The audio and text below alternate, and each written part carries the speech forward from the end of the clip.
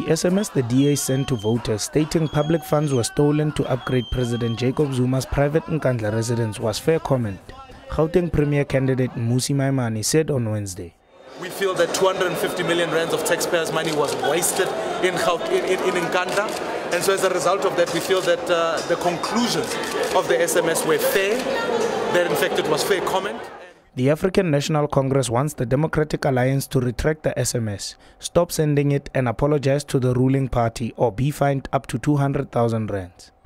And if they themselves have stopped, as they, as they say they have, they must be cautioned by a court of law not to continue doing so. But secondly, we have also asked that the court must order the DA to apologize to the ANC. The text message which Maimane said was sent to 1.6 million prospective voters in Gauteng read, open quote, the report shows how Zuma stole your money to build his 246 million rands home. Vote DA on the 7th May to beat corruption. Together for change. Close quote. Boikhutso Ntsoko for Sapa.